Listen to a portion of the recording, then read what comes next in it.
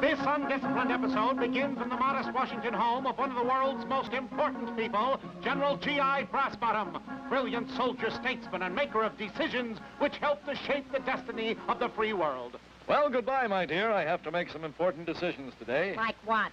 Don't rush me. I haven't decided yet. Well, don't decide to forget to bring home a quarter pound of bologna for dinner, or I'll break your knee. Oh, very well. I guess she doesn't realize that millions of men jump to obey my every command. Why, for two cents, I'd What let was her- that? Uh, nothing, my pet, nothing. Boy, she thinks that just because I finished last in my class at West Point that I'm some kind of a dumbbell or something.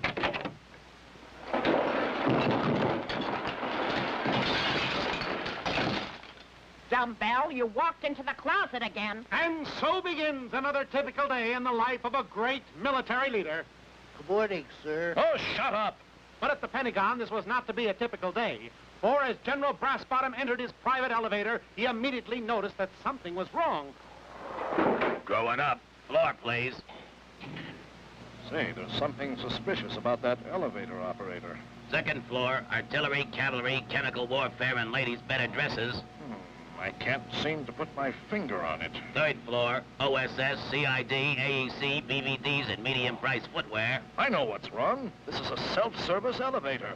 Help! I'm being taken for a ride. Take it easy, glass bottom. That's brass bottom, and I won't take it easy. This is my elevator. Oh, tell us, great leader. Listen, fella, do you know who I am? Sure, but do you know who I am? Well, you do look familiar. You give me a hint.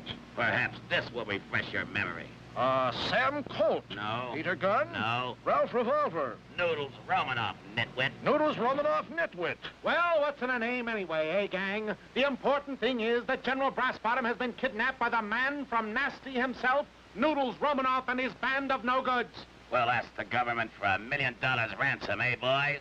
That's Yeah, good for me. yeah, I'd right, like to good, have that. good. At least the Like tax that. token would be good. You won't get away with this, Romanoff. Roger Ramjet will come to my rescue. Yes, how about Roger Ramjet? Was he ready to spring into action and rescue the general? No, he was not, because nobody had called him. Well, why don't we call Roger Ramjet? Because we can't use a hotline. General Brassbottom's the only one who knows a number. what happened to your pal Ramjet?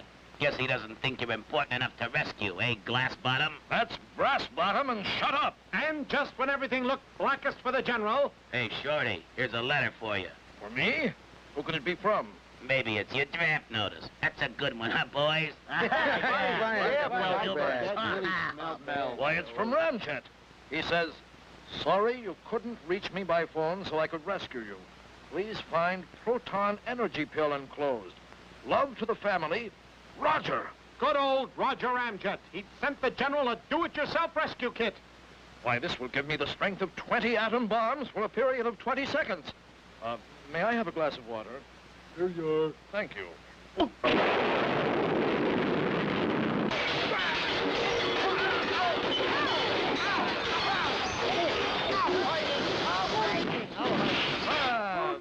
that'll you to fool around with the United States Army. Later that same evening, I'm home, sweetie pie, and what a day I've had. I bet you forgot the bologna.